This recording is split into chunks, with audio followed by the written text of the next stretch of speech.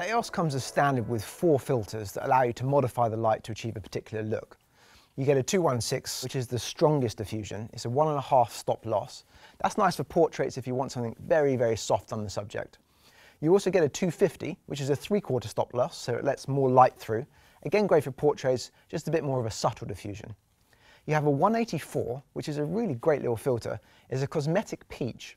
What it does is warm up the skin tone with a little hint of peach, and it also softens the light output at the same time. So this is a really, really good recommendation for portraits, and one I'd recommend to have a try with. Finally, there is a magenta filter in there if you're trying to match the light to a classic tungsten or fluorescent look. So this is going to be a simple demonstration of what the different filters can do that are included with the AEOS. This is the light right now with absolutely no diffusion on it at all. This is a 216 white diffusion, one and a half stops. So this is a 250, which is a three quarter stop white diffusion. This is the 184 Cosmetic Peach. This is 279 Magenta.